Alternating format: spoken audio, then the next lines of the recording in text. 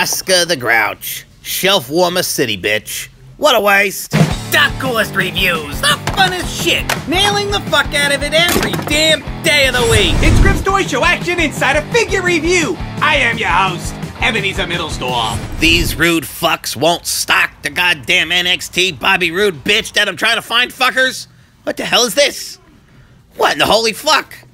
What this is shit? Dean Ambrose Asylum, the Jizz comes with an intercontinental title. The, the belt's badass, but the figures are fucking shit. The, the tiny turd title fucker figures. What is this?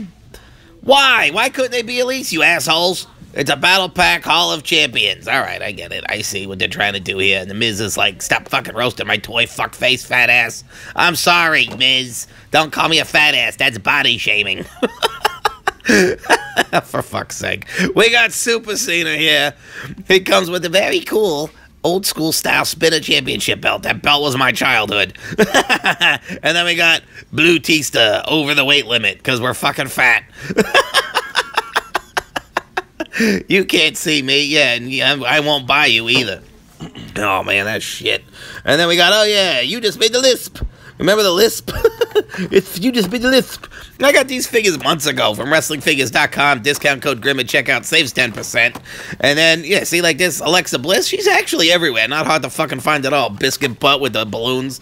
And then you got, here, these. Also got these months ago, too. The little fucking retro figure fuckers. I like retro figure fuckers. I like them. I like them a lot. Because they're old school. They're my, uh, you know, 20 years before I was born. Oh, look. They got uh, Ronda Rousey's brother here, Rowdy Roddy Piper. And then we got this hairy fucking green tongue goon ball. Who's this fucking goony goo goo green ball gumdrop? what the hell's happening here? oh man, Oscar the Grouch. Yeah, we covered that. Shelf warm. I can't believe nobody's buying it. She won the goddamn Royal Rumble for fuck's sake. Sasha Pranks. And we got Charlotte. Fartlet. Does Charlotte or Fartlet sound better? Let me know in the comments below.